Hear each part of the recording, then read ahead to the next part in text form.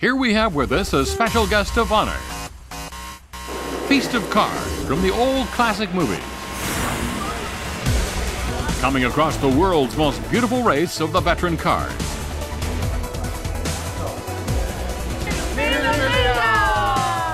From racing along a gorgeous beach line to a crazy collision race where scrapped cars endlessly crash each other.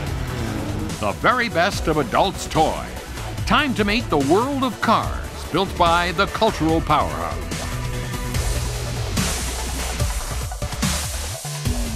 Traditional leader at car making, the Neverland of car enthusiasts.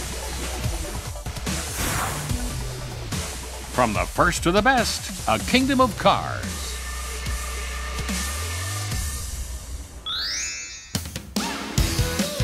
The greatest invention of the 20th century.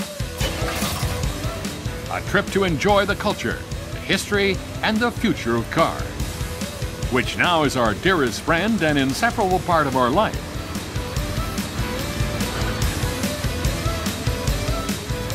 Travelogue for car culture. Happiness on Wheels. Happiness on Wheels. First destination, Italy. A race which starts from the very same spot where all races started, from the first to the latest. A trip along with classic cars. Classic cars running slowly across Italy from its top to bottom. What meaning does the Mille Miglia hold in the age of supercars and smart cars?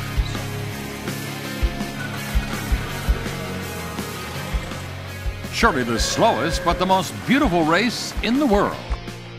Happiness on Wheels, second destination, England. Cars, now a part of our daily life, stepping into our relaxing days.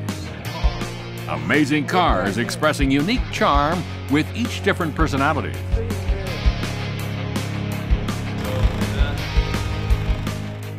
Even if your ear hurts from the deafening roar or even your butt hurts because of the stiff seat, it is still so much fun. England, where technology is merged with the people. Happiness on Wheels, third destination, Germany.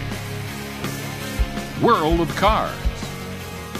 What is the secret behind the Germans? Keeping their throne at car making from the very first day they invented cars. Germany, stepping towards technology for happiness of mankind.